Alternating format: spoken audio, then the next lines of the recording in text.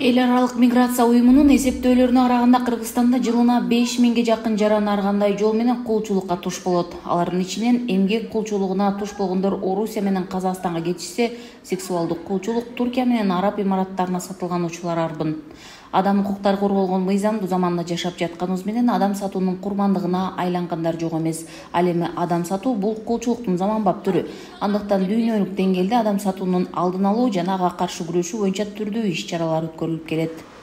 Алыңыз миграцияга эми мыйзамсыз визасыз жок түшүнүгү жок эле чыгып кетишкен ал өзүнчө кооптуу негизи чукур кагаздары болуш керек. Мыйзам түрүндө барса аны аларды мыйзам коргойт эгерде мыйзам катары барганда алар көп нерсеге укуктуу. Мыйзамсыз барганда алар бир э, иретте. Чек араны мыйзамсыз өтүү деген уже бир нерсе менен айыпталат анан э, ушул жерде каттоого турбады жумушка уруксаты белгисиз иштеп атат деп кыйла көп э, беренелерди бузуп алышып булар мыйзам чет уже мыйзам бузуучуларга кирип кетет дагы өзүнүн өмүрүнө шек келтирип анан ошо кумандыкка боло турган шарттар түзүп коет да өзүнө биздин өлкөдө эки миң жыйырма экинчи эки миң жыйырма бешинчи жылдарга кыргыз республикасында адамдарды сатууга каршы күрөшүү боюнча программа кабыл алынып анын негизинде маалыматтык стратегия түзүлүп иш чаралар планы бекитилген. Программаны ишке ашыруу максатында ош шаарынын мэриясынын алдында адам сатуунун алдын алуу жана ага каршы күрөшүү боюнча координациялык кеңеш түзүлгөн.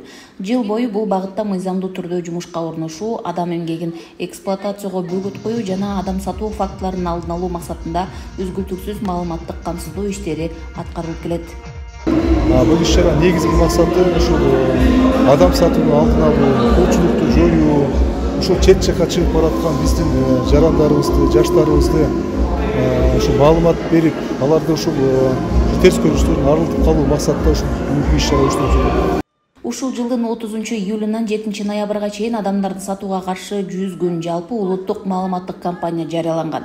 Бүгүнкү иш чара мына ошол жүз күндүктүн алкагында өткөрүлүп жатат. Иш чаранын максаты чет өлкөдөн жумуш издеп жаткан жарандарды укуктук маалыматтар менен камсыздап кулчулуктун курмандыгына чалынып калбоо үчүн туура жол көрсөтүү.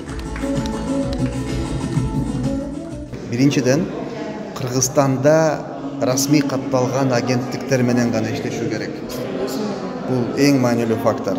Экинчиден кыргызстандагы агенттиктердин да арасында жакшы иштегендер бар да алар деле манипуляция жасагандар бар. Ошон үчүн кыргызстандагы агенттиктердин ичинен тажрыйбасы үч жылдан ашуундар менен иштешүү керек. Сөзсүз үчүнчү маанилүү фактор лицензияларын караш керек. Лицензиясы барбы көп жылдык лицензиябы мына ушул нерсеге маани берүү керек. Жана эринбестен интернеттен отзывдарды издеш керек. Компаниянын атын киргизип туруп эле отзывы деп издесе эле интернет толтура маалымат чыгарып берип коет. Ушуну эринбестен жасап коюш керек болду. Акча биринчи орунда болбош керек. Коопсуздук биринчи орунда болуш керек. Ошол менен миграциялык коопсуздукту камсыздоо адам сатууга каршы түшүндүрүү иштерин жүргүзүү ички жана тышкы миграциянын агымы жана абалын жакшыртуу максатында мамлекеттик коомдук уюмдар менен биргеликте иш алып баруу зарылдыгы белгиленди. Гүлжан ажыматова муслимбек ахмеджанов ош шаары